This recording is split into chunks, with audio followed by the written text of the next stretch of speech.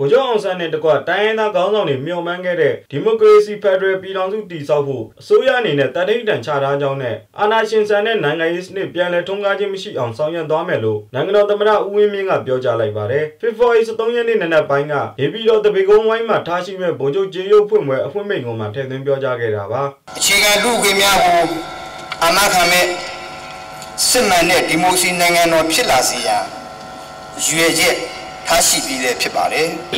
။အာဏာရှင်ဆန်၍ပြည်သူလူထုကိုဖီစည်းနှိပ်စက်မဲ့နိုင်ငံရေးစနစ်မျိုးပြန်လည်ထွန်းကားခြင်းမရှိစေရန်လဲ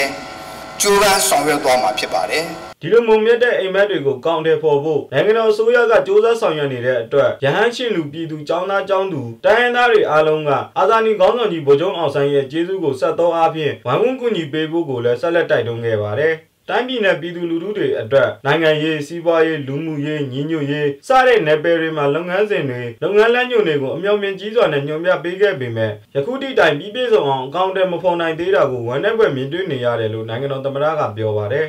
။တာနာလူမျိုးများအားလုံးကိုလည်းစူးစီးဥဆောင်တာဗိုလ်ချုပ်တိဆောက်ခဲ့သောပြည်တော်စုတိုင်းသားများစီလိုညီညွတ်ရေးနဲ့ပြည်တော်စုစိတ်ဓာတ်ထာဝရရှင်သန်ရေးတို့ကို ထိမ့်သိမ်းကာကွယ်ကြပါစို့ဗိုလ်ချုပ်ကြီးရွယ်မြွန်မှန်းခဲ့တဲ့ဒီမိုကရေစီဖက်ဒရယ်ပြည်တော်စုနိုင်ငံတော်တန်းနိုင်သို့အရောက်စီလုံးညီညွတ်စွာ